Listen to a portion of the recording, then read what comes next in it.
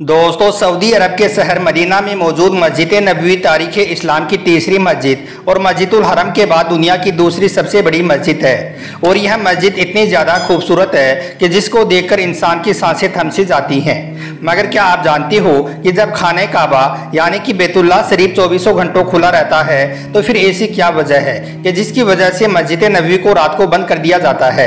यानी कि मस्जिद नबी रात के वक्त में खाली क्यों करवा दी जाती है? आखिर रात के वक्त में इस मस्जिद में ऐसा क्या होता है कि जिसकी वजह से रात के वक्त में किसी को भी इस मस्जिद में आने की, या फिर जाने की, या इसमें रुकने की इजाज़त नहीं दी जाती है? क्या इसकी वजह मस्जिद नबी में किसी नुरानी या रूहानी मखलूक की आमद होना है, या फिर इसकी कोई और वजह है? और क्या यह सिलसिला अब भी जारी है? इन तमाम सवालों के जवाब आज हम आपको इस वीडियो में देने वाले हैं। इसलिए आज का यह वीडियो आप सभी के लिए बहुत खास है। आप इसको आखिर तक ज़रूर देखें। और सबसे पहले आप मस्जिद नबी की मोहब्बत में इस वीडियो को दिल से एक लाइक ज़रूर कर दें और मेहरबानी करके इसे शेयर भी कर दें, ताकि और भी लोगों के पास में यह वीडियो पहुँच जाए। तो चलिए दोस्तों, शुरू करते हैं। दोस्तों, हिजरत के बाद अल्लाह के प्यारे नबी हज़रत मोहम्मद सल्लल्लाहु अलैहि वसल्लम ने मदीना में जिस मस्जिद की तामीर फरमाई थी, उसी को आज मस्जिद नबी के नाम से जाना जाता है। इस मस्जिद के लिए वही जगह चुनी गई थी, जहाँ पर अल्लाह के प्यारे नबी की ऊँटनी जाकर बैठी थी। यह ज़मीन बनु नज़र के दो यतीम बच्चों की थी, जिनके नाम साहिल और सुहेल थे, जिसको फिर आप सल्लल्लाहु अलैहि वसल्लम ने उन्हें कीमत देकर खरीद लिया था। इस मस्जिद की तामीर में सहाबा किराम के साथ साथ आप सल्लल्लाहु अलैहि वसल्लम ने भी पत्थर उठाई थी। यह मस्जिद इस्लाम की सादगी की एक सच्ची तस्वीर है। दोस्तों, एक हिजरी, यानी कि सन छः सौ बाईस ईस्वी में इस मस्जिद की नींव, यानी कि मस्जिद नबी की नींव, खुद अल्लाह के प्यारे नबी हज़रत मोहम्मद सल्लल्लाहु अलैहि वसल्लम ने रखी थी।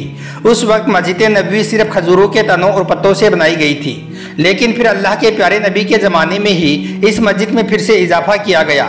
उस वक्त यह मस्जिद सिर्फ़ एक हज़ार स्क्वायर मीटर में ही थी, लेकिन आज यह मस्जिद तीन लाख चौरासी हज़ार स्क्वायर मीटर में फैल गई है और इस वक्त मस्जिद नबी में दस लाख से भी ज़्यादा लोग एक साथ नमाज़ अदा कर सकते हैं। पूरे अरब में पहली बार इलेक्ट्रिक लाइटों का इस्तेमाल इसी मस्जिद में किया गया था। मगर दोस्तों, अब सवाल ये उठता है कि इतनी बड़ी मस्जिद को रात के वक्त में बंद करने की नौबत क्यों आई? यानी कि इस मस्जिद को रात के वक्त में खाली क्यों कर दिया जाता है? क्या इस मस्जिद में रात को कोई नूरानी या रूहानी मखलूक आती है या फिर इसकी कोई और वजह है? आइए अब जानते हैं इसके बारे में। दोस्तों, सबसे पहले तो आपको इस सवाल का जवाब दे देते हैं कि जब खाने का आबा चौबीसों घंटों के लिए खुला रहता है तो फिर आखिर इसकी क्या वजह है कि रात के वक्त में मस्जिद नबी को बंद कर दिया जाता है? तो इस हवाले से हम आपको बता दें कि इस सवाल को लेकर हमारे पास दो तरह के जवाब है और आज हम दोनों ही तरीके के जवाब आप तक पहुँचाने की कोशिश करेंगे। लिहाजा आप इस वीडियो को गौर से आखिर तक बगैर स्किप किए ज़रूर देखना। दोस्तों, इनमें से पहला जवाब तो एक वाक्य की सूरत में है, जो आज से तकरीबन 20 साल पहले का वाक्य है। एक मरतबा मक्का शरीफ में, यानी कि खाने काबा के सहन में बहुत सारे बड़े बड़े ओलमाई किराम तशरीफ़ फरमा थी और आपस में गुफ्तगु कर रही थी कि तभी अचानक ही वहाँ पर एक अरबी इंसान उनके सामने आया और उन सबसे मुखातिब होकर कहने लगा, ए ओलमाई किराम, क्या आप जानती हो कि खाने काबा रात दिन क्यों खुला रहता है? यानी कि खाने काबा चौबीसों घंटों क्यों खुला रहता है? जबकि मस्जिद नबी रात के वक्त में बंद कर दी जाती है। रात के वक्त में मस्जिद नबी में किसी को भी रुकने की इजाज़त नहीं दी जाती है। आखिर ऐसा क्यों है? मुझे आप इसके बारे में बताएँ। और आपका जवाब सिर्फ़ और सिर्फ़ कुरान पाक के हवाले से होना चाहिए। यानी कि आप कुरान पाक का हवाला देकर इस सवाल का जवाब दें। दोस्तों, कहा जाता है कि उस अरबी शख्स का यह सवाल सुनकर, जहाँ बड़े बड़े ओलमाई किराम खामोश होकर गहरी सोच में डूब गई थी, वहीं पर एक आलिम साहब खड़ी हुई और उन्होंने फ़ौरन ही आयतल कुर्सी को पढ़ना शुरू कर दिया था और फिर फरमाया कि ये शख्स, अल्लाह के सिवाय कोई मबूद नहीं है, वो ज़िंदा है और हमेशा ज़िंदा रहेगा, वही है जो इस पूरी कायनात को थामने वाला है, ना उसे कभी ऊँग आती है और ना ही कभी उसे नींद आती है। इसलिए अल्लाह का यह घर, यानी कि खाने का आबा दिन रात चौबीसों घंटे खुला रहता है। और मस्जिद नबी में हमारे प्यारे नबी हज़रत मोहम्मद सल्लल्लाहु अलैहि वसल्लम का रोज़ा मुबारक है, जिसमें अल्लाह के प्यारे नबी आराम फरमा है। तो क्योंकि आप सभी को मालूम है कि नींद इंसानों के साथ में लाजमी है, यानी कि अगर कोई इंसान है तो उसके लिए सोना और आराम करना लाजमी है। इंसान को आराम की ज़रूरत होती है। इसलिए रात के वक्त में मस्जिद नबी को बंद कर दिया जाता है, जबकि अल्लाह नींद से पाक है। यानी कि अल्लाह पाक को ना ही कभी नींद आती है और ना ही कभी ऊँग आती है। इसलिए खाने का आबा जो अल्लाह पाक का मुकदस घर है, वो दिन रात यानी कि चौबीसों घंटों खुला रहता है। तो दोस्तों, ये तो था इस बात का पहला जवाब कि रात को मस्जिद नबी को क्यों बंद कर दिया जाता है।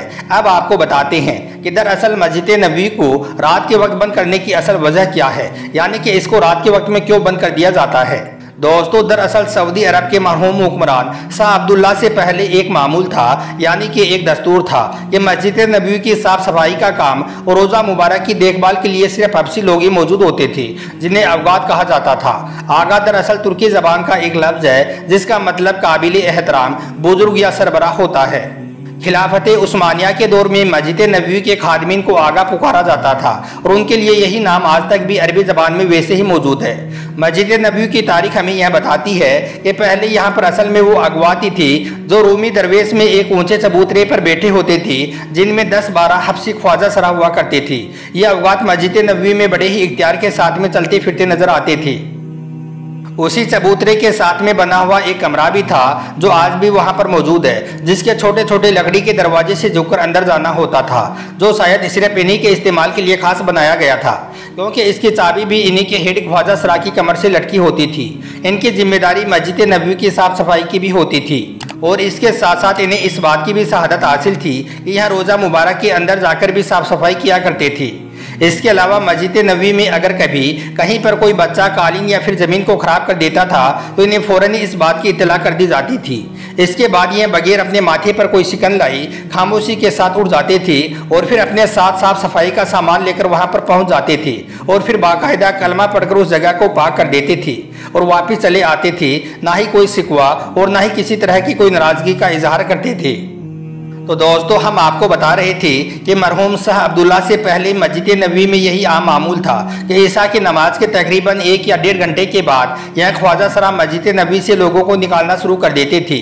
और यही नहीं, औरतों वाले हिस्से में भी सिर्फ़ इन्हीं को आने जाने की इजाज़त होती थी। यानी कि यह औरतों वाले हिस्से में भी आ जा सकते थे, इसलिए मर्दों के साथ साथ औरतों को भी निकालते जाती थी और साथ ही यहाँ पर साफ़ सफ़ाई का काम भी शुरू कर देते थे। और फिर एक एक करके मस्जिद नबी के तमाम दरवाजे बंद करते जाते थे और ऐसे करते करते फिर मस्जिद नबी का आखिरी दरवाज़ा भी बंद कर दिया जाता था और इस तरह से मस्जिद नबी को पूरी तरह से खाली कर दिया जाता था और फिर अगली सुबह तहजूद की अजान तक मस्जिद नबी के अंदर सिर्फ़ यही अवगात अकेले होते थे। तो दोस्तों, इस बात की असल वजह यही थी कि जिस वजह से आज से कुछ बरस पहले तक रात के वक्त में मस्जिद नबी को बंद कर दिया जाता था। रात के वक्त मस्जिद नबी को खाली करवा दिया जाता था और फिर इसके अंदर रात के वक्त सिर्फ़ इन्हें पाँच सात अवगात को रहने की इजाज़त होती थी। जबकि कुछ लोगों का ये कहना है कि मस्जिद नबी में रात के वक्त में कई तरह की नूरानी और कई तरह की रूहानी मखलूक आती हैं, इसलिए रात के वक्त में मस्जिद नबी को खाली करवा दिया जाता था। तो हम आपको बता दें कि इस बात में कोई भी सच्चाई नहीं है। मस्जिद को खाली करने की असल वजह यही थी। दोस्तों, अब आपको बताते हैं कि क्या यह सिलसिला अब भी जारी है। यानी कि क्या अब भी रात के वक्त में मस्जिद नबी को खाली किया जाता है? क्या अब भी रात को मस्जिद नबी बंद कर दी जाती है? तो हम आपको बता दें कि शाह अब्दुल्ला के दौर में यह हुक्म जारी कर दिया गया था कि अब से रात को भी मस्जिद नबी बंद नहीं की जाएगी। यानी कि रात के वक्त में भी ज़ायरीन को मस्जिद नबी में आने की इजाज़त होगी। इसलिए अब पिछले दस सालों से मस्जिद नबी में बाबुल सलाम और बाबुल बकी, जहाँ पर रोज़ा मुबारक मौजूद है, वो चौबीसों घंटे खुले रहती हैं। जबकि रात के वक्त में मस्जिद नबी के बाकी हिस्से साफ़ सफ़ाई की वजह से बंद कर दिए जाते हैं। दोस्तों, उम्मीद करता हूँ कि यह जानकारी आपको अच्छी लगी होगी। वीडियो पसंद आया हो तो आप इसे दिल से एक लाइक ज़रूर कर दें और मेहरबानी करके इसे शेयर भी कर दें, ताकि यह जानकारी और भी लोगों के पास में पहुँच जाए। आपका वीडियो देखने के लिए बहुत बहुत शुक्रिया।